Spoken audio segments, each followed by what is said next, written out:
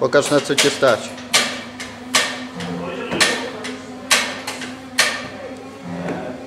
Trzeba wyciąć.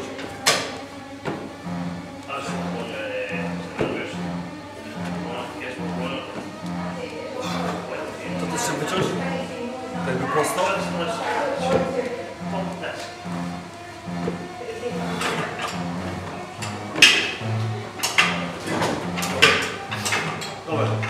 I to wyszło ci dobrze, tak?